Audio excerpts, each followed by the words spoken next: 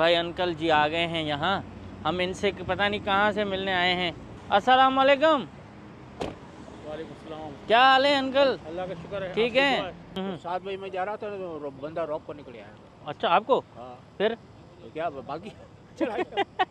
आज अ, हमारे पास है भाई थर्सडे और मैं शाम को यहाँ आया था एक काम था मुझे अर्जेंट काम था बहुत अर्जेंट। और आज खुशखबरी भी है अ, एक कि वो खुशखबरी मैं आपको थोड़ी देर के बाद बताऊँगा। अब यहाँ से मैं निकल रहा हूँ, मेरे एक दोस्त वेट कर रहे हैं, उनको पिक करना है और जाना है एक ऐसी जगह पे जहाँ सारे देसी मोस्टली ज़्यादातर देसी स्पेशली पाकिस्तान और इंडिया से वहीं आते हैं और बहुत अच्छा व्लॉग होने वाला है तो चैनल को सब्सक्राइब करें और ज़्यादा से ज़्यादा लाइक दे दिया करें तो आपकी बहुत मेहरबानी। थैंक यू सो मच चलें। मैं यहाँ मिलने आया हूँ अंकल से और वो अंकल जो आपको हमेशा नज़र आते हैं मेरी वीडियोज़ में मूसा कॉलोनी में जो होते हैं, उनके हुआ है आँख का ऑपरेशन और उस दिन उनको दवाइयाँ भी चाहिए थी। हमें जाना भी था, लेकिन मैं जा नहीं पाया और आज उन्होंने बुलाया कि मुलाकात करनी है। मैं इसलिए सिर्फ़ यहाँ आया हूँ। पहले क्या था, घर घर से दोस्त को उठाया और फिर यहीं आए हैं। तो समझें कितना, एक घंटे की ड्राइव हो चुकी है अभी तक। लेकिन अब वो यहीं करीब करीब रहते हैं। अगर वो यहाँ आए तो ठीक है, वरना मैं जाऊँगा। और दूसरा, ये वाले जो अपार्टमेंट है, ये भी मुझे दिखाने होते हैं, लेकिन यहाँ अभी मैं गया नहीं हूँ। कोशिश करूँगा कि इन अपार्टमेंट्स के अंदर की जो ज़िंदगी है और बाहर किस तरह से नए लोग रहते हैं, वो भी आपको कभी दिखा दूँगा।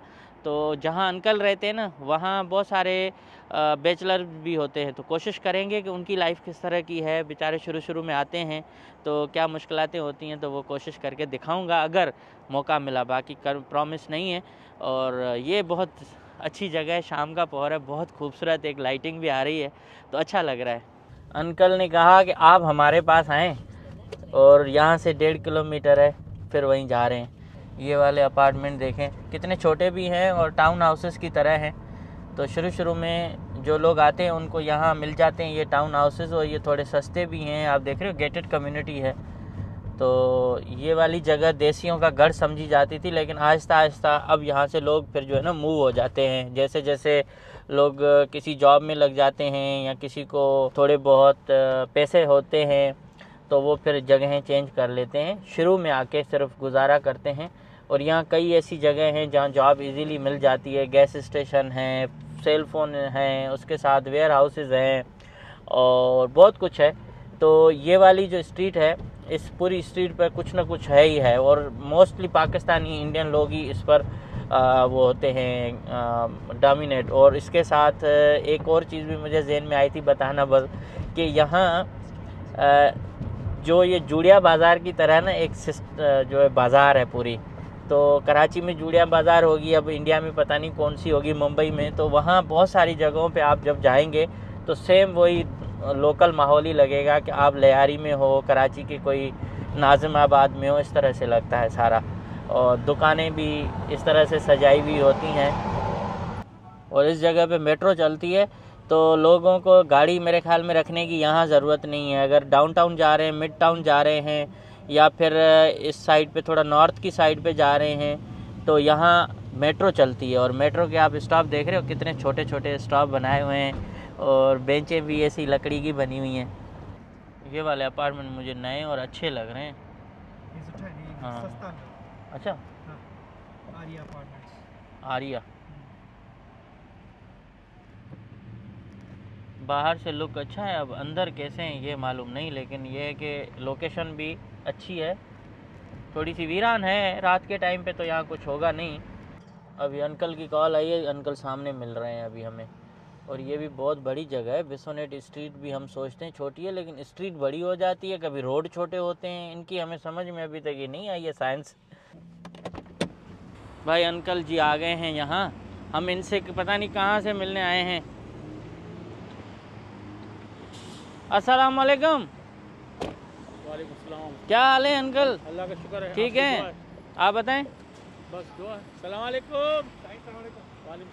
अंकल ने अपने आँख का ऑपरेशन कराया है वो यहाँ मिलने आया था कि यार दिल कह रहा है बड़े दिनों से कि आपसे मिलना है तो मैंने कहा मैं आ ही जाता हूँ मुलाकात कर लेते हैं। और आज मौसम भी थोड़ा प्यारा था इसलिए निकल आए वरना सर्दी की लहर थी हवाएँ तेज़ थीं तो आने में हमें प्रॉब्लम ये हो रही थी कि यार सर्दी में निकले कहाँ बंदा जाए? उनको भी तकलीफ़ हमें भी तकलीफ़।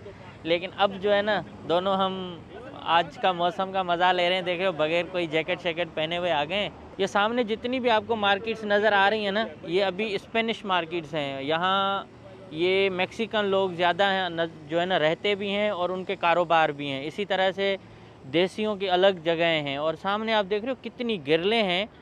ये इस जगह पे पूरी ये मार्केट को गिरलें लगा के और इन्होंने समझे कि फेंसिंग की हुई है और शीशे इन्होंने ढांपे हुए हैं ताकि कोई तोड़ फोड़ ना कर सके। तो यहाँ सिक्योरिटी का थोड़ा ना इशू होता है। तोड़ फोड़ करके चोरी चकारी के वाक़ात थोड़े थोड़े होते हैं तो हर जगह पे बहुत बड़े लोही जंगले लगे हुए हैं। इवन यहाँ पेट्रोल पंप है तो पेट्रोल पंप पे भी यही सूरत हाल है। दो महीने पहले यहाँ भी ना इनका शीशा शीशे तोड़ के अंदर से सामान लेके गए थे और यहाँ भी सारी जगहों पर यही नज़र आ रहा है। इधर भी गिरलें लगी हुई हैं। ला यूनियन और इस तरह से सामने दिखाता हूँ आपको। यहाँ क्या हुआ था? तो सात बजे के करीब डके थी? हाँ मैं यहाँ कैफ़े सन्नाटे जाता हूँ हम्म। कोंगो पे जाता हूँ ना। हम्म, हम्म। तो सात बजे मैं जा रहा था तो बंदा रॉक को निकल आया। अच्छा आपको? हाँ। फिर?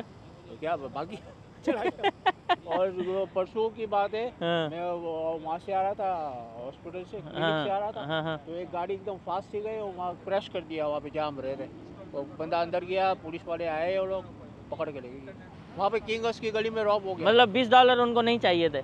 मैं वो देखा क्योंकि मेरे इधर बंदे जानने वाले भी है ना। हाँ, तो देखा कि यार ये तो बंदा तो जानने वाला है तो मेरे को कंप्लेन कर देगा तो छोड़ दिया मेरा ये ये है ना। क्राइम फ्री नहीं है ये पूरा एरिया क्राइम वाला है। ये वाला क्राइम वाला है ना? तो यहाँ हम खड़े हैं तो ये सेफ़ नहीं है ना? है। इधर भी रॉब हुआ था हाँ, इधर भी मार के गया था गाड़ी हाँ। और एटीएम की मशीन लेके जा रहा था वो। इधर से? हाँ तो वो तो पुलिस पकड़ ली उसको बंदे को। उन्नीस साल का बंदा था। अच्छा? हाँ। चलें फिर खड़े क्यों हैं हम? चलें हम। हाँ, चाय चाय पिलाता हूँ आपको चल। रख ओके चलें भाई ज़्यादा रुकना इधर ठीक नहीं है।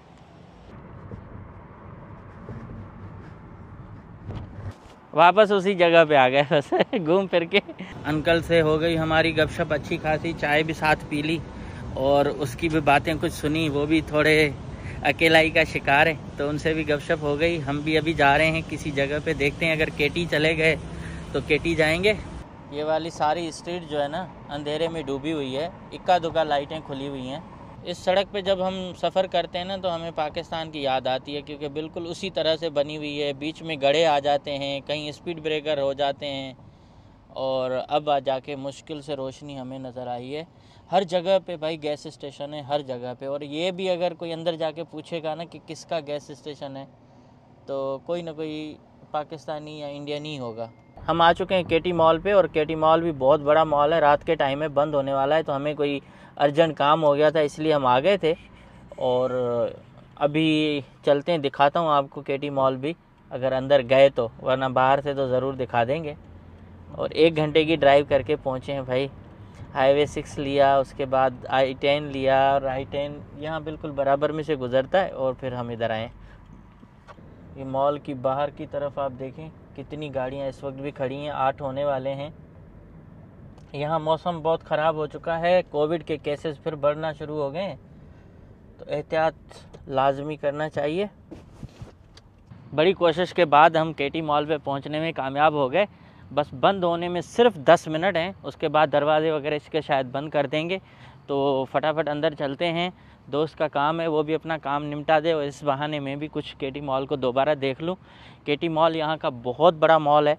एक कोने से दूसरे कोने तक आएगा बंदा तो मेरे ख्याल थक जाएगा गाड़ी होती है और हज़ारों गाड़ियों की पार्किंग है यहाँ।